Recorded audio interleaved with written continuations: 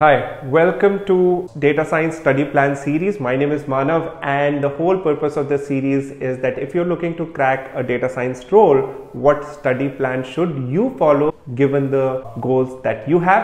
In this video, I'll be covering a 90 day study plan to become a data scientist. Stay tuned because I'll be sharing some of the best tips that you should follow in this 90 days to ensure that you actually uh, get to your dream data science role. Let's start with the first step.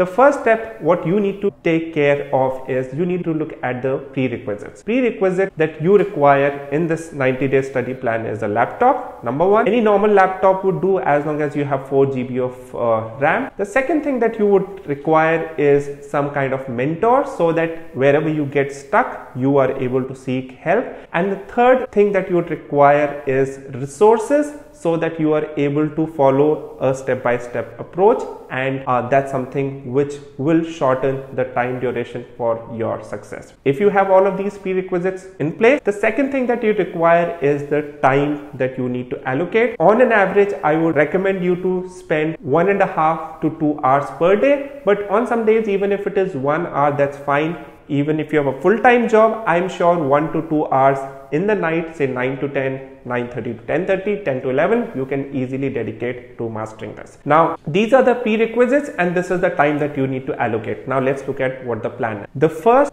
month is the most crucial month for learning anything and it is true for data science as well. In the first month, your focus needs to be for the first 15 days mastering Python inside out, Python commands, Python basics, getting your hands dirty in Python. In the next 15 days, you need to master statistics inside out, statistics basics, are the core of data analysis and machine learning. And if you're comfortable with statistics, trust me, your journey later will be very, very easy this is what you should do in the first one month. In the second month, your focus needs to be on learning Python packages like NumPy, Pandas, which are heavily used in the industry. For example, Pandas is something that you are going to be using quite a lot. So you need to get comfortable with this. Additionally, you need to learn Python packages like NumPy, Matplotlib, Seaborn, Bokeh, etc. that will help you in visualization and in understanding your data better. But more importantly, what is important for you is you should be implementing all of this in data set. If you're not doing that, you are not preparing yourself for success. You need to implement all of this in data sets and that's extremely, extremely recommended. So this is the plan for month two. In month three, you need to focus on one thing that is machine learning basics.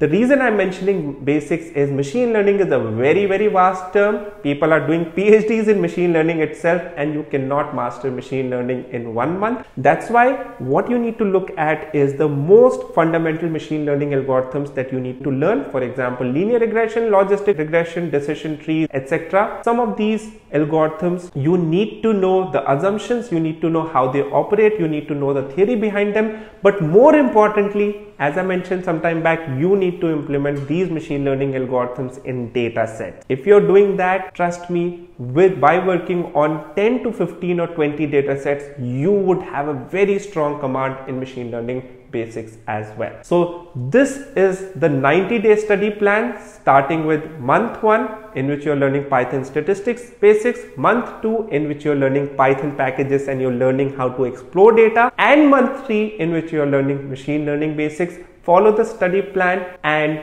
if you're doing this trust me you are on your path to becoming a junior data scientist. This is the 90 day study plan. However, if you're looking to master machine learning to the next level and if you're aiming for a data scientist position, 90 days are not enough. You need to watch out the 180 day plan, six month plan that I'll share in another video. Thank you for watching and all the best.